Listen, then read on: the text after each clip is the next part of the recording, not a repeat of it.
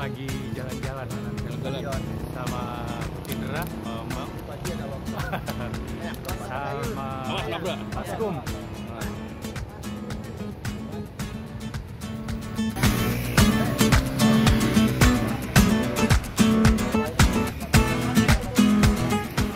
CEO PSIM Yogyakarta Bambang Susanto dan pelatih timnas U23 Indra Syafri meninjau Stadion Mandala Krida Yogyakarta pada Minggu sore.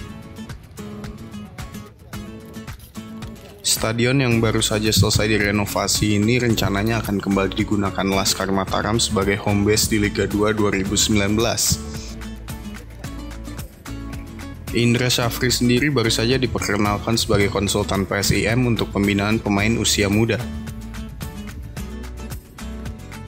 Pada kesempatan itu, Bambang Susanto berharap besar PSIM sudah dapat menggunakan stadion ini di laga home perdananya pada 1 Juli mendatang melawan Persik Kediri.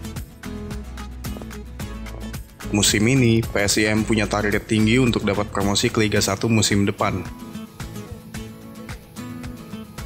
Sementara Indra Syafri sendiri merasa kagum dengan kemegahan Stadion Mandala Krida yang baru ini.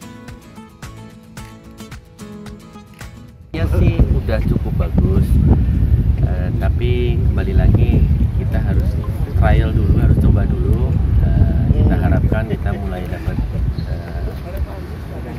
permission izin dari pihak pengelola sehingga kita bisa mencoba lagi yang di sini untuk mengetahui kondisi yang sesungguhnya karena hanya akan merasakan kan pemain dan pelatih ya.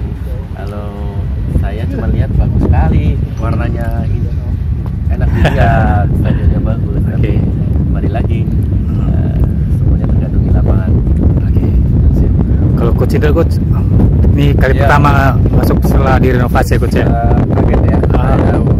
Tahun berapa 2014 pernah main di sini eh, tim 19 lawan eh, Jogja ya. Jauh berbeda. Ini udah berkah untuk PSIM.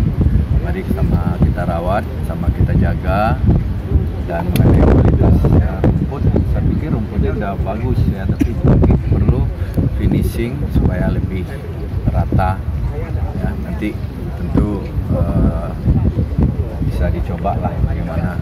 Apakah sudah memenuhi syarat atau tidak. Tapi secara keseluruhan ini udah eh, sangat luar biasa lah